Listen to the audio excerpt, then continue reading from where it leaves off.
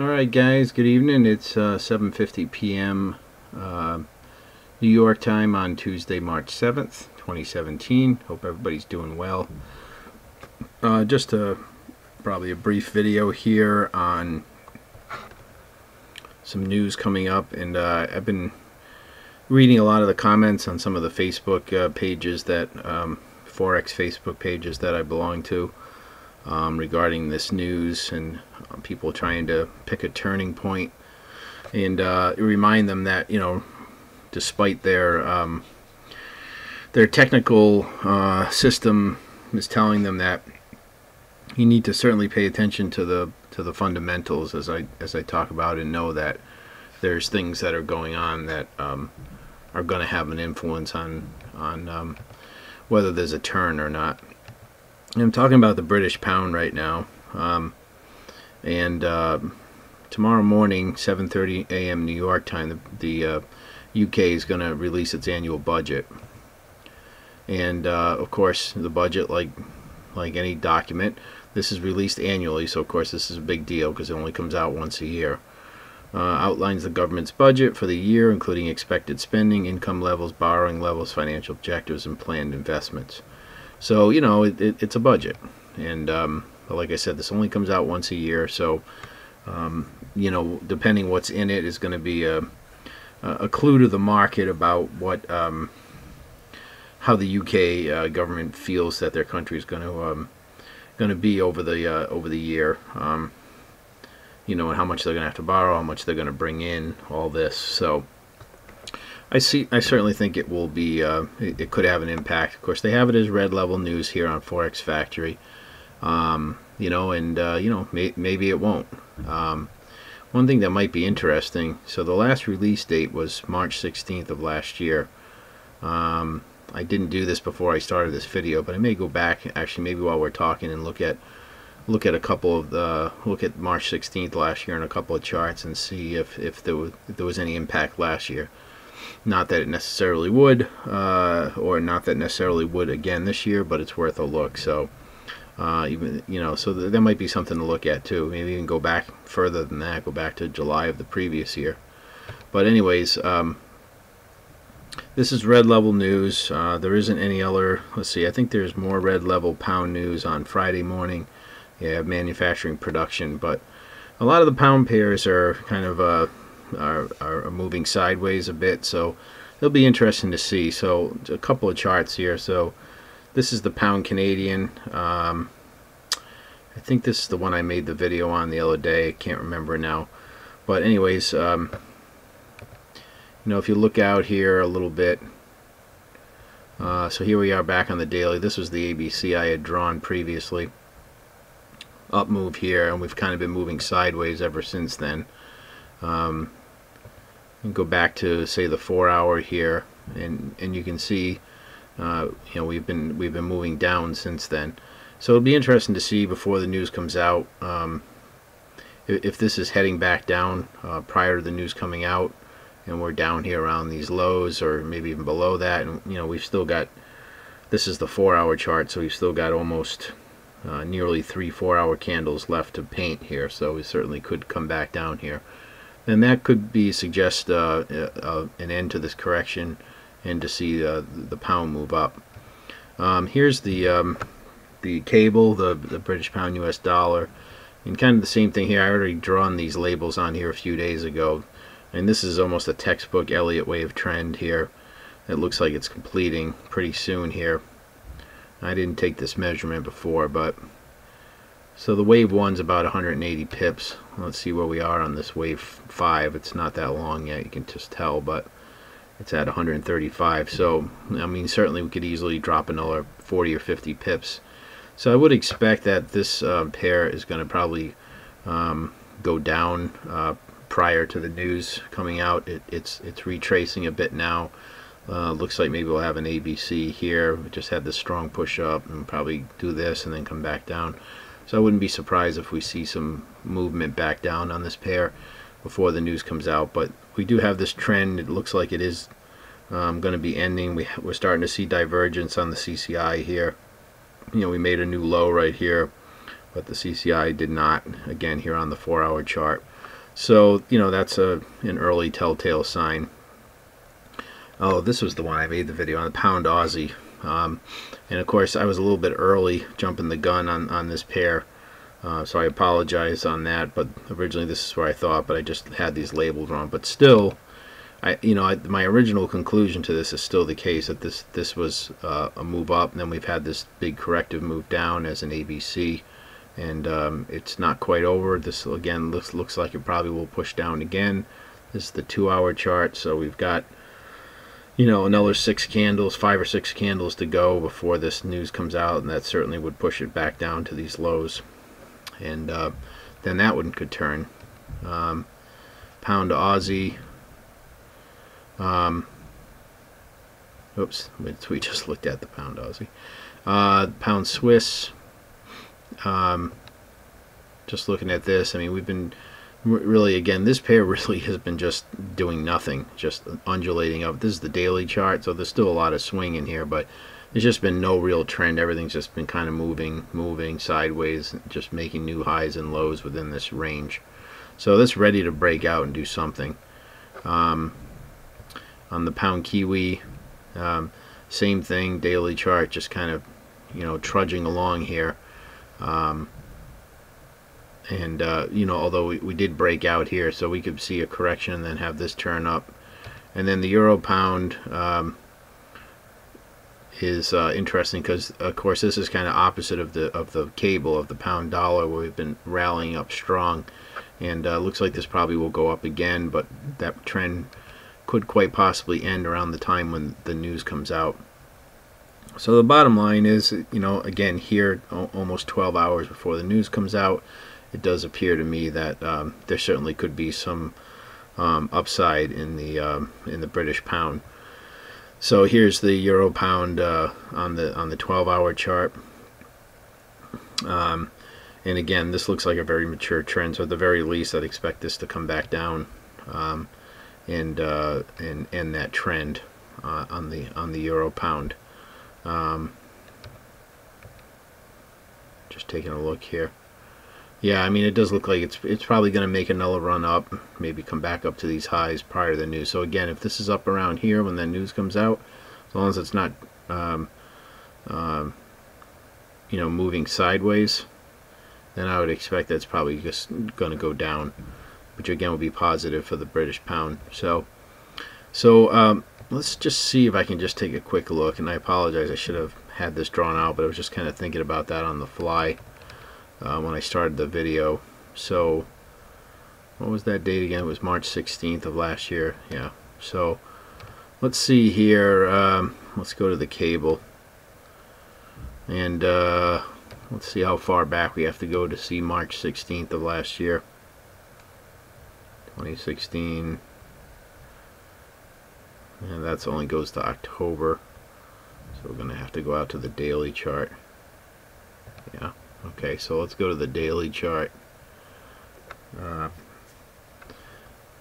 and uh, let's see if we can find March 16th of last year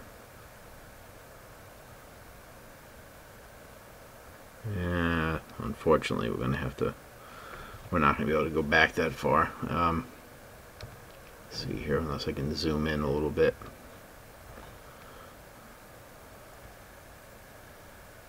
No. Okay. Well, um, of course we'll get it here on the weekly chart, but that's that's going to really be too long to probably really see anything. Um, so March 16th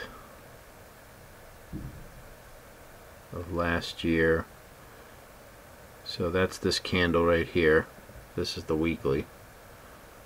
That's this candle right here. Um, unfortunately, it's gonna it's just too far back to really see. Um, you know, from a weekly standpoint, I mean, we can see what happened for the week. Uh, we were it looks like you know we closed higher. We have this big tail here, so we were uh, the market was going down and it ended on a high note. So so um, you know, it, it, it, did have some, some movement, but certainly nothing outside of the ordinary in terms of uh, motion for the week. But you can see again with this big tail, uh, this big wick down and then closing at the high. Um, if, my guess is because this week started on the 13th, so that would be came out. The news came out on Thursday that it probably pushed up, but you see what happened the following week. It came right back down again. So, so it's a little hard to say. Um, you know that that was just kind of something I was thinking about. If you can, uh, I don't want to tie up the video here, but if you, if you can go back on your chart and pull up that week uh, on a more zoomed in scale, like say at least on the daily chart, then uh, you might be able to get an idea of what it did uh, during that news. So uh, I, I, may try to work on that. But anyway, so um, the whole point, guys, is uh, at least at this time, it looks like it, it could be um, some bullish uh, sentiment on the pound based on that budget, but we'll see. Uh, I, I don't I don't really know if it's going to have a big effect or not. I mean, they have it as red level news, but we'll see what it looks like before the news comes out. But that's the way it looks right now, and uh, so we'll see. And then after that, for news, this ADP non-farm payroll change, um, that's not going to do anything. I know they always have this as red unless it's some huge deviation because the reason why it doesn't do anything is because on Friday you have the government non-farm payroll and average hourly earnings. That's the one the market really looks at. Um, that's the one the Fed's looking at for rate hikes and things. So this is the ADP private one and um, again they always put it in red but it really doesn't have much effect on the market. Uh, you have crude oil inventories could have some effect on the US dollar the Canadian you know if, it, if there's a big deviation it's good for a day trade maybe if you're following that. You have Chinese CPI tomorrow night. You know, again, could have an effect on the Asian currencies, but only if it's if there's a real deviance. The next major thing is uh, going to be Thursday morning is the uh, euro bid uh, rate. They're not expected to change it. Um, so assuming they don't change it, then the real news will be at um, 8, uh, 45 minutes later during the ECB press conference to get direction. There's there can be a ton of volatility during this press conference when Draghi's speaking. So uh, you know, if there's an obvious pattern um, setting up leading into this uh, news event, uh, I might trade it. Other than that, I you know I'll just sit and watch it because if you want to see whipsaw and go back and if you haven't experienced this, go back and watch some of these. Um, ECB press conferences with Draghi, and you just see these huge swings as he talks. You know, it'll it'll rally up one minute and then down the next as uh, as he says bullish and then bearish things about the euro and how it eventually shakes out.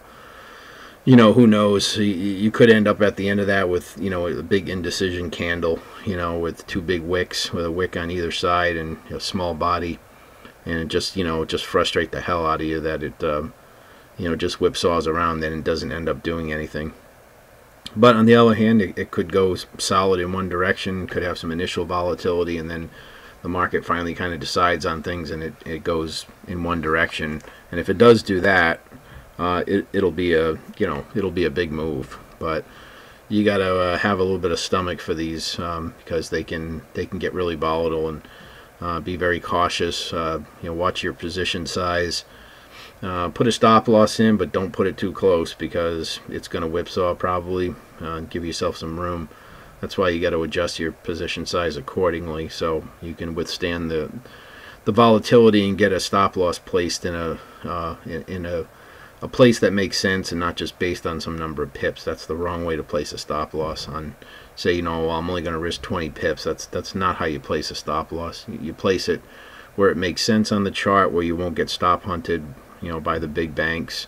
It gives your trade a little bit of room to breathe. I mean, if you're if you're confident about the trade, then you should be able to place a stop accordingly, and um, you know, uh, place your position size accordingly based on you know the time frame you're trading on. If you're trading on a higher time frame, there's going to be a lot more risk. Then you got to adjust accordingly. You know, if you're trading on a smaller time frame, then you can take on more risk, but you also can be whipsawed out of the trade too. So um, so that's that's the whole money management part of it that obviously we're not getting into. But so uh, that's the next major thing I'll be looking at. And then, like I said, uh, we got uh, British pound on Friday morning manufacturing production. Uh, this could be important. They have this as red level. We'll see what happens with the uh, with the budget stuff, but this could be another trigger potentially.